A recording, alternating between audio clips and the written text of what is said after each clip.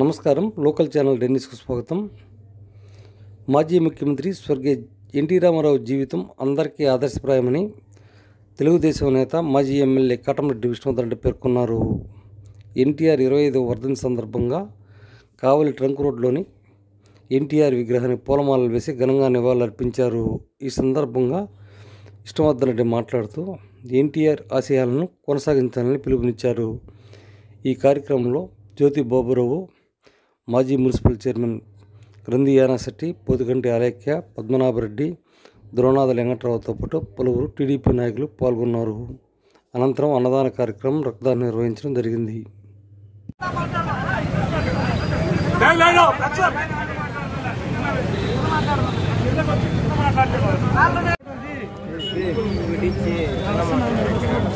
వస్తాండి red వస్తాం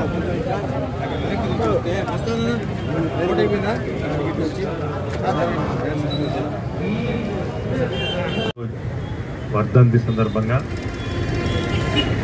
NT Ramarao గారు దాదాపు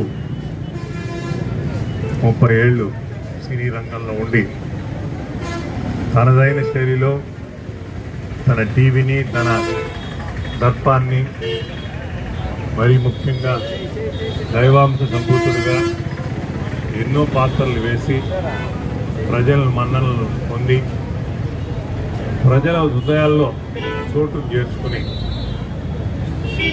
అవతల దాన్ని వదిలేసి ఇది కాదు మనం జన్మకి సార్థకత కావాలంటే అట్టడుగునున్న పేదవారికి సేవ చేయాలనే దృక్పథంతో వీటన్నిటిని వదిలేసి సంపదలను ఆస్తిని పక్కన పెట్టి ప్రజలకు సేవ చేయాలనే దృక్పథంతో నిస్వార్థంగా సేవ చేసిన నాయకుడు రామారావు గారు. చాలామందికి తెలుసు తొమ్మిది నెలల్లో పార్టీ స్థాపించి మార్చి ఐదో తేదో పదో తేదో స్టార్ట్ చేసి జనవరి ఐదో తేదీకి ప్రభుత్వం ఏర్పడింది. అంత కొద్ది టైంలో రాష్ట్రం అంతా నలుమూలలా తిరిగి అందరినీ ఆకర్షించి వారి అందరి మరీ ముఖ్యంగా చాలామంది కుటుంబాల్లో రాజకీయం ఎరగని వాళ్ళందరి కుటుంబాల్లో అవకాశం కల్పించి మరీ ముఖ్యంగా ఎక్కువ మంది బీసీ నేతలకి అవకాశం కల్పించి ఈ రాష్ట్రంలో ఒక కొత్త ఒరవడి తీసుకొచ్చిన నాయకుడు ఎన్నికల ముందే వాగ్దానం చేశాడు రెండు రూపాయల కిలో బియ్యం ఇస్తాను మధ్యాహ్నం భోజనం పిల్లలకు పెడతానని.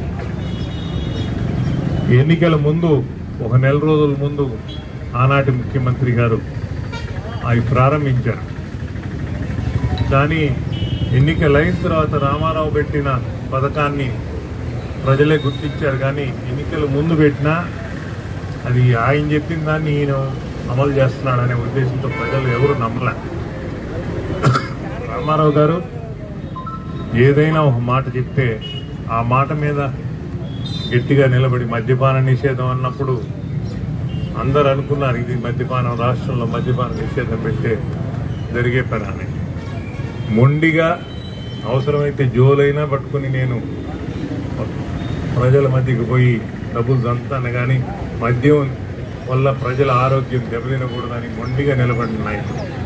చాలా చెప్పుకోదగ్గ అతను ఎప్పుడు రాజకీయం చేయలే. రాజకీయవేత్త రామారావు అంటే అది ఎవరు? నమ్మకూడదు ఆయన. అతను రాజకీయాలు చేసే మెంటాలిటీ కాదు అతను ఏదో ఆలోచన వస్తే అది ముక్కుసూటిగా అది న్యాయం అనిపిస్తే దాని మీద గట్టిగా నిలబడే వ్యక్తి.